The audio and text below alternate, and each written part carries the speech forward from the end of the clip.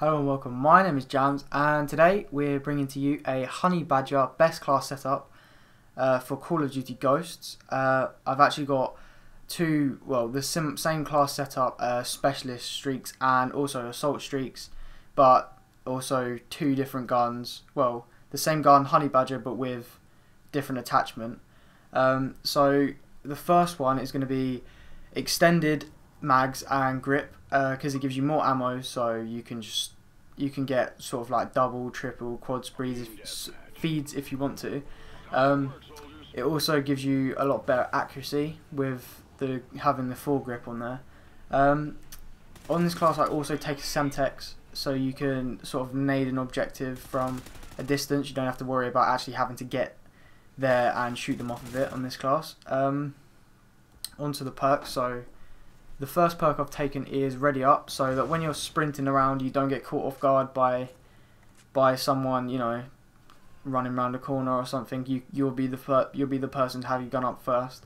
Uh, quick draw because the aim down sights time of the Honey Badger is extremely slow, so that always helps with winning gunfights as well.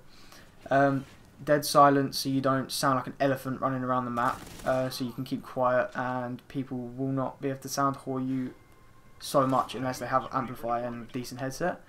Um, I also take marathon so you can get around the map quickly because I found I tried it without marathon and it was slow paced. I wasn't getting many kills. I wasn't able to get round behind and take advantage of the built-in silencer, um, which is what you want to be doing with this class. So yeah, you've got to take marathon. I'd recommend it, and obviously focus is a necessity on this class because you need to have focus to be able to win those 50-50 gunfights without flinching up in the air, having your crosshairs aiming at the freaking sky or something.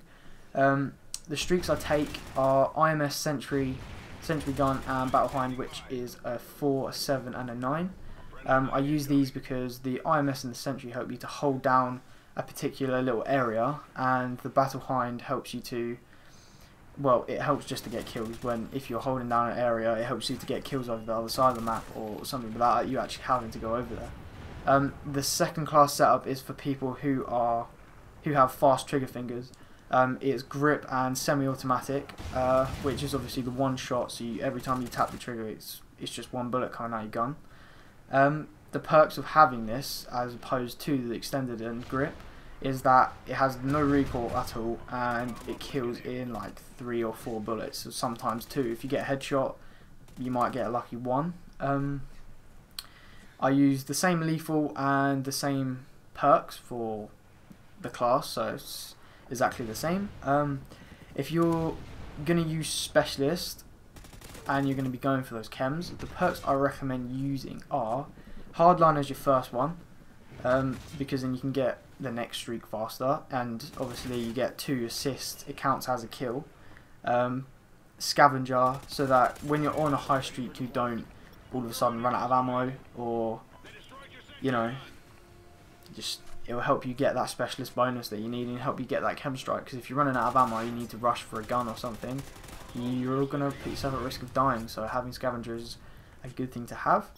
Um, for the specialist bonus, I use sleight of hand so you do not get caught out on the reloading. Um, as the Honey Badger actually reloads quite quickly, uh, quite slowly in comparison to other guns. Um, I use agility so that when when you're in the middle of somewhere and you're in danger, you can quickly get away from that. Um, I use amplify so you can sound whore when you're on high streaks. So I didn't take I would normally take Amplify over Marathon in this case, but I felt that Marathon was so necessary, and obviously Amplify it is a good perk, but it's not 100% necessary. You don't need to sound hole. It's, it's helpful, but getting around the map is more helpful, because what's the point in sound whoring someone if you cannot run to get there? Um, so I've sacrificed the Amplify in my main perks for the Marathon for that purpose, um, that reason and then the last one is ping so obviously so that it sends out that radar ping. And you can see everyone around the enemy that you killed and you can take them out before they realise you're even there.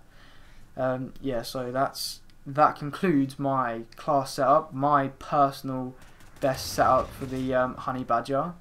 Um, if you could please let me know in the comment section below uh, whether you like this class, if you tried it out, give me like what some feedback on what you think of the class. Um, yeah, so if you've got any recommendations for another gun that you'd like me to cover, uh, if you're struggling with what attachments to use or what perks are the best for which gun, just you know, say it in the comment sections below, below, and I will get into using them on my online, and um, I'll see which ones I find are the best, and you can try them out, and see if I I can help you. Um, yeah, so thank, thanks for watching the video. Um, I've been Jams. Uh, the gameplay in the background was on not the new. I've I've just got the season pass, um, so I have never played on this map before. This was my first ever game on this map. I've seen it on YouTube and other YouTubers playing on it, but I've never personally played on it. So I thought it was quite a good.